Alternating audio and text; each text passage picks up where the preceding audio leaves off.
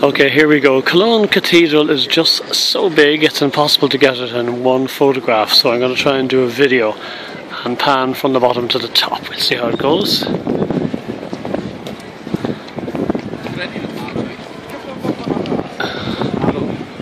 Now we're looking at the bottom of the cathedral, panning up.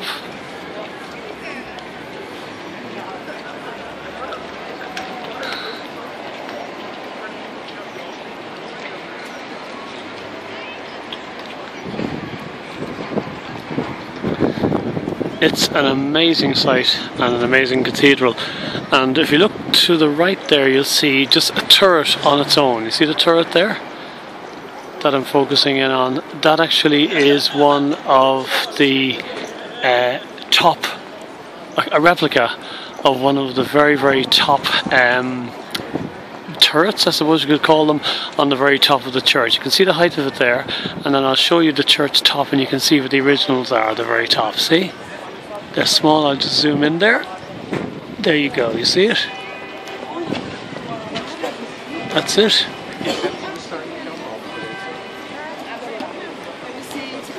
Just trying to bring the zoom back down again. There we go. Now I'm going to try something I haven't tried before. I'm going to try and do a video edit and go to the other side of the church from the train station and see if we can continue this video. So I'm just going to hopefully pause this video now, okay?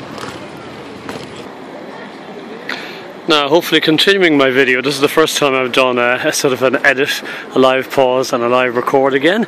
Anyway, now we're looking at the other side of uh, Cologne Cathedral, this time the side beside the main railway station, which you can see to the left there.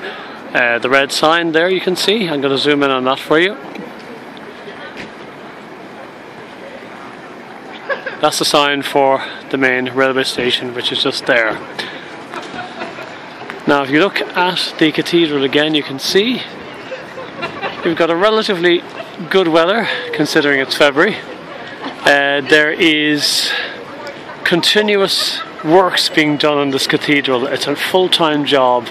They have a permanent full time stonemason team and they're replacing the stone on a week by week, month by month basis. So it's, it's a work in progress. Uh, if you look here at the front, at the side of the cathedral nearest, you'll see there's a lot of steps. See those steps there? Those steps are actually a, a, tunnel.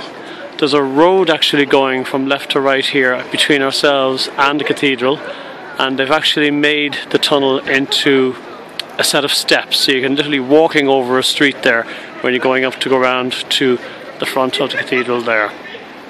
So that's about it. That's a quick look at. Uh, Cologne Cathedral and I hope you've enjoyed it. Now just going to give you a final view. I'm just walking across the uh, the square at the moment now and I'm going to show you just the front entrance and also the sign which tells you about the main railway station just here in one second.